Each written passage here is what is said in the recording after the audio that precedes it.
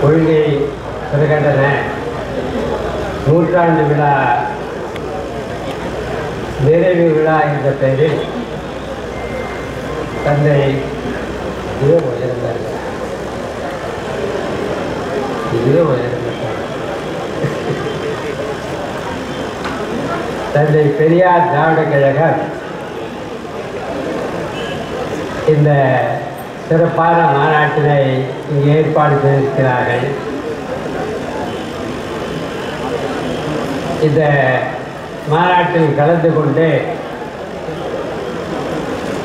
பல்வேறு ஆய்வுரைகள் ஆற்ற வந்திருக்கின்ற அறிஞர் பெருமக்களை நான் மனதார வரவேற்று அவர்களுடைய கருத்துக்கள் அவருடைய ஆய்வுரைகள் புத்தகங்களாக